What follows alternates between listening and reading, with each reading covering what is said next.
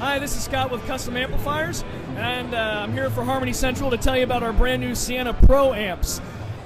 These amps not only sound great, but they look freaking cool too. The control panel, if you can look at it right here, is actually made with bird's eye maple. So if it's going to be an acoustic amp, it might as well look like it too. It has a mic line input, so you can plug a guitar or you can actually plug in vocals. Also has reverb built in, so you can get the tone you want out of it. This top one is actually the Sienna 16 Pro, 16 watts. You can do anything you want with it, even if you're in a small club or a coffee shop, this will provide everything you need. You want to go down, we also have the 35 watt version. This too has a mic input or a guitar input, so uh, you can do anything you want there.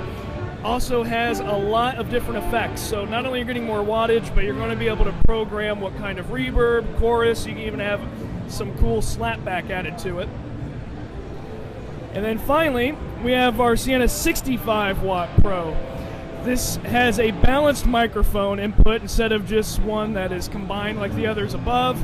You can plug in your instruments, whether it has a piezo pickup or if it has an active uh, pickup in it. You have two separate gain channels so you control each input. You can also program different effects like a room, chorus, slapback, a couple things in between.